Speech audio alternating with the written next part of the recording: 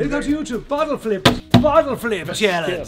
Først og sammen, velkommen tilbage til endnu en video på Geek-kanalen. I dag der har vi en speciel gæst med, som faktisk også er producent af sit eget brand. God ven af huset. Og en god ven af huset. Han kommer her.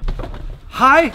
Og velkommen til Rysgaard. Jeg er virkelig god til YouTube. Jeg har 11 følgere. Øh, mener du det? Det er faktisk lidt trist, fordi jeg har øh, 24 familiemedlemmer.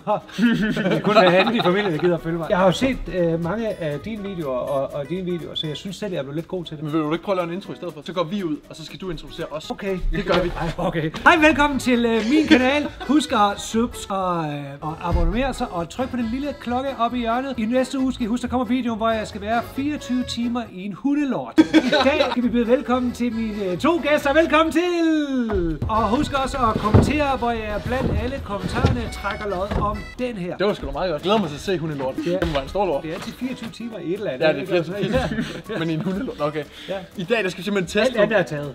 ja, 100%. I dag der skal vi teste nogle produkter, som Jakob har taget med, og du Ja. faktisk selv ejer af de her produkter. Du ejer Ja. firmaet til produkter. Altså, vi var træt af, at der var at, at der, der er virkelig meget af de der lidt billigere ting derude, som, som var lort, ikke? Og så fandt vi ud af, at øh, man kan godt lave det til fornuftige penge, uden at det er, det er dårligt. Jeg har ikke testet Don One endnu, så det er faktisk... Er det rigtigt? Det er første gang. Altså, jeg har taget skærebræt med, og det er et øh, XL. Øh, XL og det er skærebræt. egentlig fordi, at det skulle være solgt i XL-byg. De sagde nej. Hvad gør I så? Det var en dårlig forretning. Det var, lidt, det var lidt dumt, fordi man kan også bruge den til at isolere. Er med. Men prøv lige at se det her. Det er stort skærebræt? Det Der kan ligge en god fisk på. Man kunne selvfølgelig også sige, at det var en musemot. Og, Musemot, det er selvfølgelig en musemot. Det var en, det var en musemot.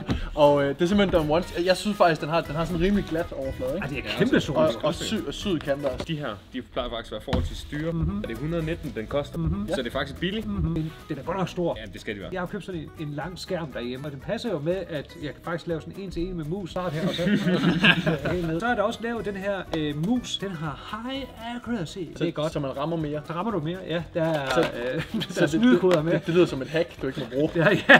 Jeg er jo typen, når jeg har tømt mit magasin i øh, Warzone, så er der sådan et fint mønster af manden rundt om. det er det, det har vi jo skød på. Helt sikkert. Og det er fordi, de fucking controller, ja. det er så svært. Mm-hmm. Øh, den her virker også øh, til Playstation. Men det er selvfølgelig altid controllerens skyld. Det er jeg faktisk spændt på, hvad I siger, fordi vi har faktisk, og det er det ærligt, vi har faktisk haft øh, 500 versioner eller sådan noget op og blive sendt tilbage igen, indtil at, at vi synes, den, den var der. Det der er faktisk lidt sjovt, det, det er pasformen på den. Har vi ikke en powerbank? Fordi der er virkelig meget lys i den der. I Disneyland har det været i Tivoli Park, det var dengang jeg var barn. Det var, det var det Disneyland, vi havde.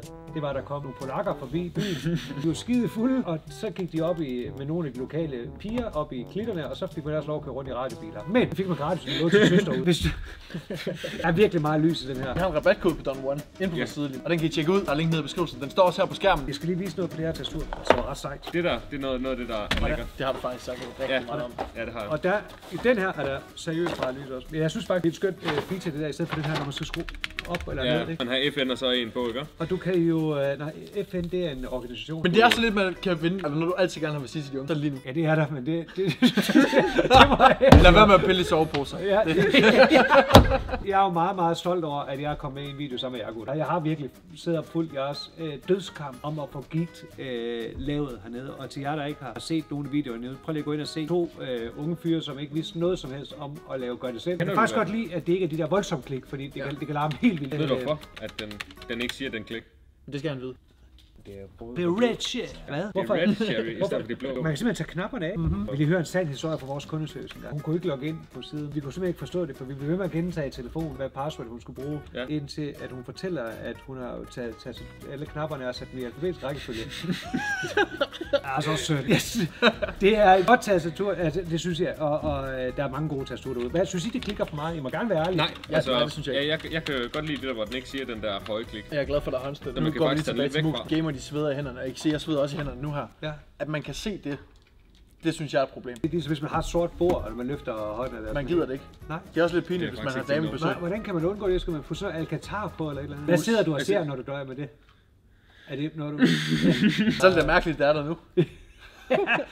Og jeg... Ah, det er derfor, ikke må give hånd. Der er der lige har rørt det, mand. Nej, hvad er det for noget? Hvad skal vi give den her fra 1 til 10? Jeg er jo inhabil, jeg må ikke sige noget. Må du Men jeg synes, at det der med rabatkoden, skal det ikke være løven? Hvad med at lave sådan en kit? Det skulle jeg lige til at sige. Vi kan også Ja. lave et kit, hvor vi sælger hele det her. Vi har både tastaturet, musen og Så musen. skal man også kunne betale fragt én gang, jo. Ja, så sparer Det er man det. rigtigt. Så får man 25% rabat. Så får man 25 procent, hvis Ja. man køber hele pakken. Så laver vi sådan en samlet pakke. Hvad skal vi kalde pakken? Vi har jo lavet en med YouTube. The Ultimate Lion Favorite Kit. Så er det 25 procent rabat, hvis man køber hele kittet. Ja. Og Jakob kommer selv ud med alle tastaturerne. Husk at subscribe og tryk på kanalen, hvis du har nogle spørgsmål. Og virkelig har jeg. Tryk på klokken op i hjørnet. Ja, Nej, det, det var den ja, hjørne. Du vil høre, hvordan du laver en outro, så kan Ronny lave en outro, og Jeg så laver jeg en. YouTube-video færdig. Tak fordi du så med her på min kanal, øh, og husk at følge, subscribe og, og min moster, og øh, have en god dag. Det var simpelthen alt fra Don Juan. nu, nu, jeg tager den op. så, jeg vil sige tusind tak, fordi du så med den her video. Husk at like, subscribe, smid en kommentar på den her video. Jeg Du glemmer har mulighed for... det. Jeg har min om Okay, igen. det er godt. Tusind tak fordi I følte med, det var mega sjovt. Det- det Vi skal også ses give igen mening, i næste uge. Vi ses. Hej!